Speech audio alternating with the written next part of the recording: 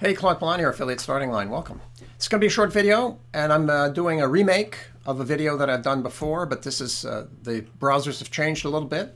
This is how to print in black and white on Chrome on a Mac. And don't, uh, don't worry, PC owners, I'm going to do one about the PC. How to print in black and white in the Chrome browser on a Mac. And don't worry, I'll do one on Firefox. So here we go. So let's say I'm here and I want to print out the New York Times in black and white, but I don't want all the color. So I'm going to come down here and go to print. Now the print screen has an option down here called print using system dialog. See that right there? Click it.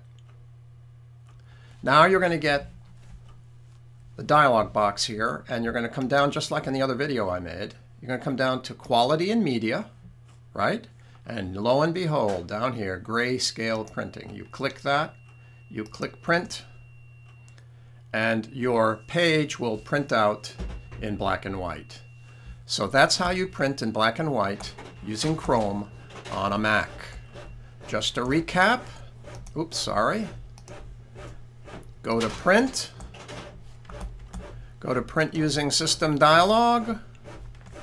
Go to layout, the drop down, and go to quality and media and click grayscale printing. That's how you do it.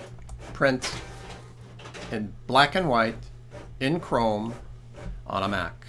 This, hope this has been helpful. This is Claude Pelanne Affiliate Starting Line. Stay with it, stay well, and we'll talk to you soon.